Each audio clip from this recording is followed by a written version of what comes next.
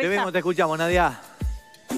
Muchas gracias. Bueno, yo sigo por el Prado y me vine, ¿saben a dónde? A un museo de bicicletas, que ya se los voy a mostrar porque no saben todo lo que hay acá, las reliquias que hay en este lugar. Voy a saludar a Carlitos, que es el, encargado, el responsable de este lugar. ¿Cómo te va? ¿Todo bien? Hola Nadia, muy buen día, muy buen día, muy buen día de Desayunos Informales. Este, bueno, estamos aquí, eh, como dijiste, en el Museo de la Bicicleta.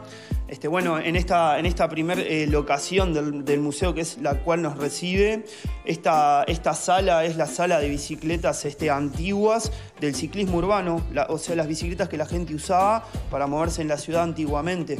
Este, bueno, el museo en realidad, eh, si bien hoy en día es, es este el espacio físico, en realidad el proyecto viene del año 2011, cuando bueno, yo ya tenía unos 20 y pocos años y em- había empezado a coleccionar bicicletas a los 15 y bueno, y empecé de forma itinerante a hacer exposiciones por diferentes partes del país.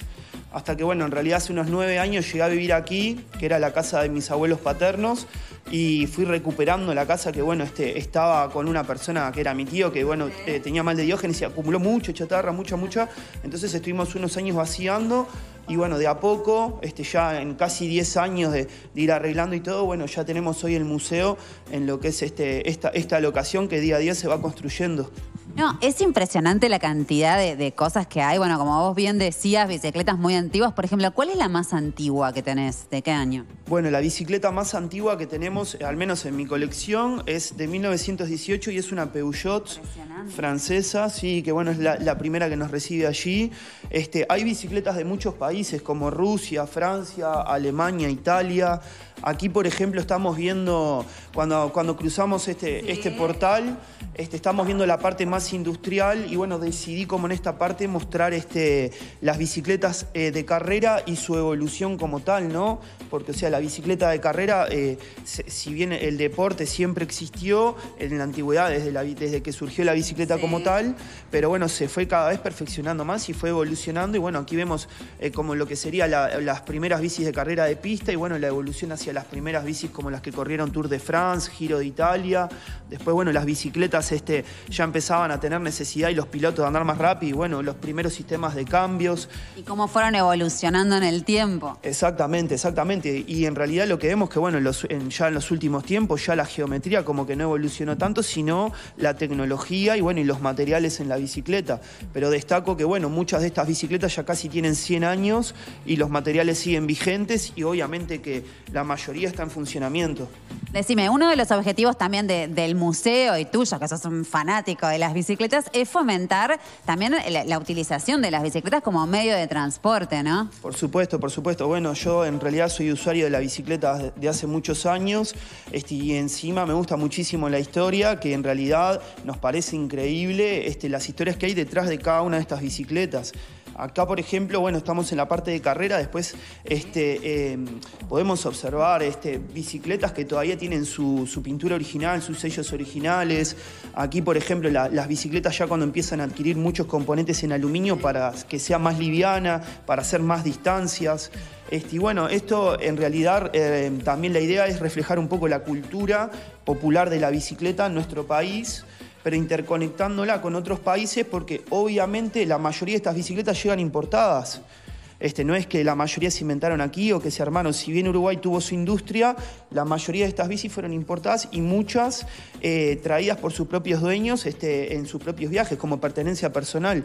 Entonces, bueno, eso habla de una interconexión de culturas muy interesante que pasa que viene gente de otros países y bueno, y queda este, muy contenta porque ve una bicicleta de su país. Este, y bueno, tratamos de, de- de mostrar una, una diversidad de bicicletas. Por ejemplo, aquí estamos en un espacio de bicicletas que se, us- se usan y se usaron para trabajar.